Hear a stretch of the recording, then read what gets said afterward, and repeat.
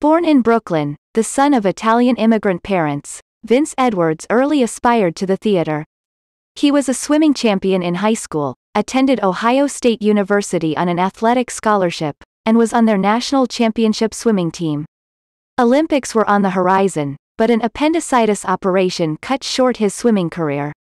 He studied at the American Academy of Dramatic Arts, and then became a contract actor at Paramount Pictures in the early 1950s.